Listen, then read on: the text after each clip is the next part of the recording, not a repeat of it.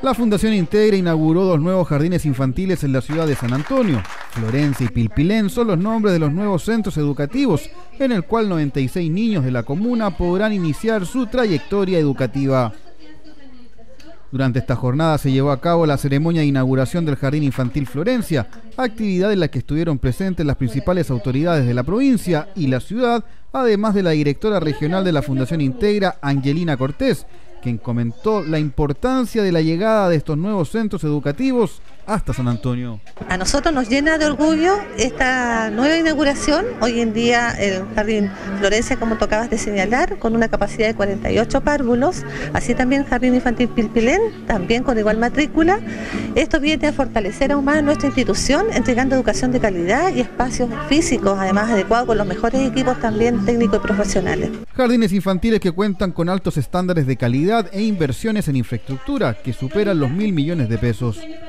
Juana Corbalán, directora del Jardín Infantil Florencia, se refirió sobre esta inauguración y quienes serán parte de este establecimiento educacional. Estoy contenta de poder contar con este jardín, eh, educación para los niños que puedan venir, ¿no es cierto? Acá, familias, tengo familias participativas, eh, agradecer también a través de este medio que están apoyando en la educación a sus hijos como agentes ellos relevantes en la educación, la formación de sus niños.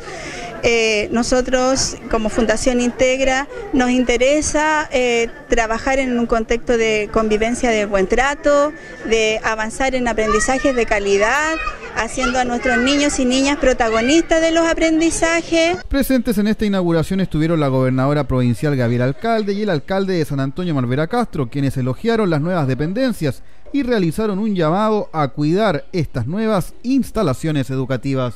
Nos permite eh, estar seguros. Yo creo que al final lo que más buscamos siempre en un jardín es poder eh, entregar a nuestros niños donde compartan, donde lo pasen bien, pero sobre todo de manera segura.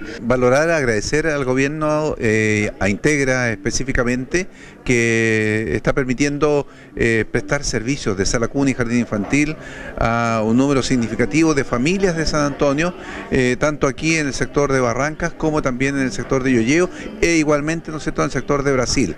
Por su parte, la diputada María José Hoffman, el diputado Víctor Torres y el consejero regional Mauricio Araneda también tuvieron palabras para los nuevos jardines infantiles de la Fundación Integra, inaugurados durante la jornada. No hay nada más importante para la familia, para las mamás y los papás que tener un espacio eh, donde poder dejar tranquilos a nuestros niños. Permite poder aumentar la cobertura precisamente en lo que es eh, la estimulación temprana de, nuestro, de nuestros niños. Creo que esta es la etapa clave donde forjamos el futuro de nuestros niños. Nuevos jardines infantiles que cobijarán a 96 niños de la comuna y una importante inversión en pos de la educación de la comuna Puerto.